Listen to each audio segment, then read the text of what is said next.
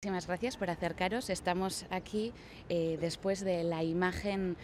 de la movilización masiva de ayer en Bilbao y hacemos las valoraciones justo después de ese día y evidentemente no podemos decir otra cosa más que estamos orgullosas y contentas de no solo de la imagen, sino de la movilización y del músculo social y político que ha sido capaz de organizarse en torno al reto que se nos ha abierto como país del debate nacional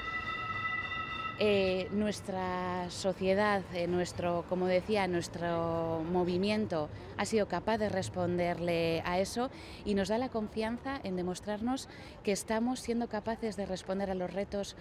a corto, medio, pero sobre todo a largo plazo, que eso demuestra que tenemos proyecto para este país y que el futuro de este país es Euskal Herria Bildu.